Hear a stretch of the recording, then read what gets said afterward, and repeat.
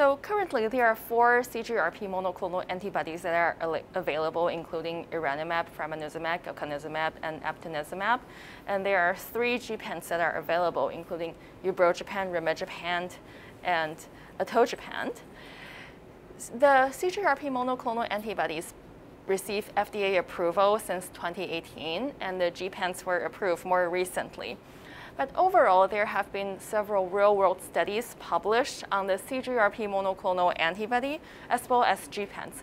So if we talk about the CGRP monoclonal antibodies first, because erenumab was the first monoclonal antibody that received FDA approval back in 2018, a lot of there were a lot of real-world studies reported specifically about this medication compared to to, to uh, more um, more more studies reported on the real-world experience of erenumab compared to others, but there are more studies coming out for these other medications as well.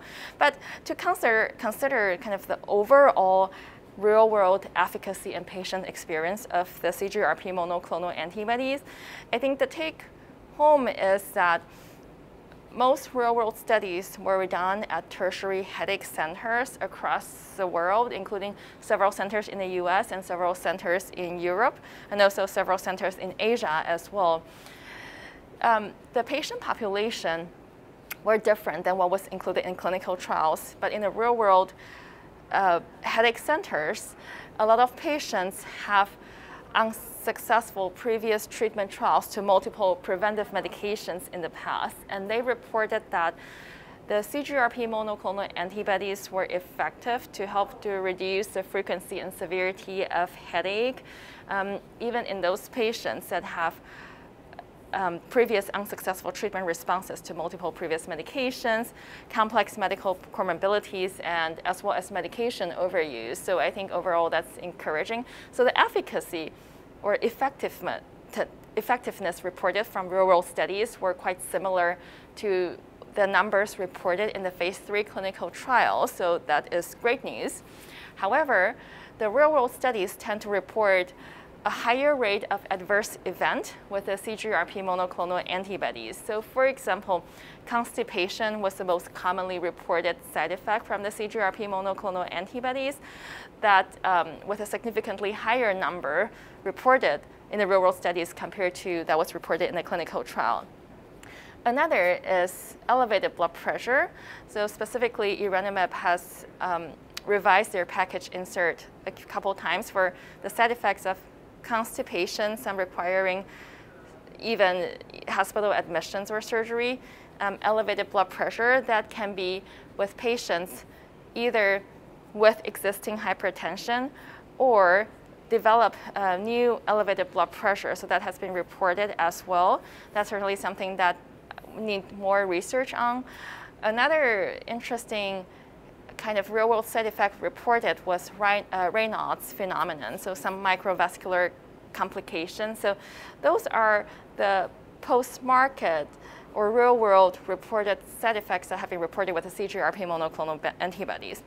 In terms of gepants, as we know that the ubrogepant and rimegepant received FDA approval in 2020, I actually um, did a study on the real-world patient experience of ubrogepant that was published, and we found we have similar conclusion as well. So the effectiveness that a lot of patients received um, the medication reported that they were able to achieve headache freedom within two hours after they took the medication.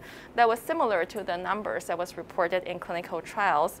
However, our patient population in the real world setting was more patients with chronic migraine, with medication overuse, patients that have unsuccessful treatment trials to multiple acute medications in the past. So the good news is that those gepants work for those patients as well.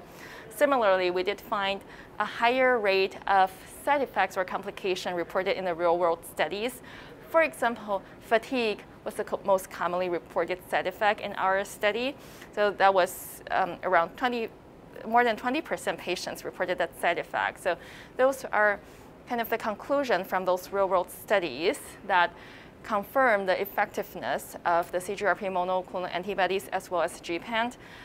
Side effects were reported at a higher rate compared to the numbers reported in the clinical trials. And there are some new um, or post-marketally reported complications that was not reported in the initial clinical studies. But I think as time goes on, we will know a little bit more about the long-term effectiveness and safety of those CGRP targeting therapy, specifically the cardiovascular or vascular safety of those medications.